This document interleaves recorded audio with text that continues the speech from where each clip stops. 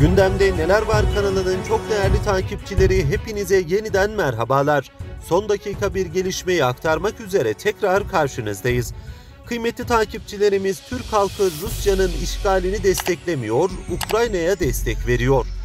Areda Survey'in gerçekleştirdiği Rusya'nın Ukrayna'ya saldırısının değerlendirmesini inceleyen anketin sonuçları, Türk halkının ortak görüşünün %68,8'lik oranla Rusya'nın haksız bir savaşa imza attığı yönünde olduğunu ortaya koydu. Araştırma sonuçlarına göre katılımcıların %68,8'i Rusya'nın haksız bir savaşa imza attığını düşünüyor.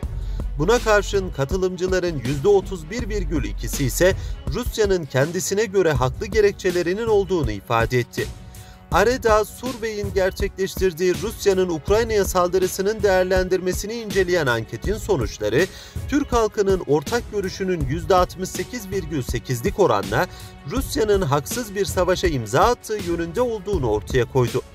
Araştırma sonuçlarına göre katılımcıların %68,8'i Rusya'nın haksız bir savaşa imza attığını düşünüyor. Buna karşın katılımcıların %31,2'si ise Rusya'nın kendine göre haklı gerekçelerinin olduğunu ifade etti. Değerli izleyenler, Areda'nın yönelttiği bir başka Rusya'nın Ukrayna saldırısı karşısında Amerika ve Avrupa'nın tepkisini nasıl değerlendiriyorsunuz sorusuna karşılık Amerika ve Avrupa Türkiye kadar Ukrayna'nın yanında olmuyor. Türkler adeta Ukrayna'da savaşıyor ama Amerika ve Avrupa uzaktan kınamaktan başka hiçbir şey yapmıyor ifadelerini kullandı. Kıymetli takipçilerimiz video haberimizin sonuna geldik. Bir sonraki haberimizde tekrar buluşmak ümidiyle hoşçakalın.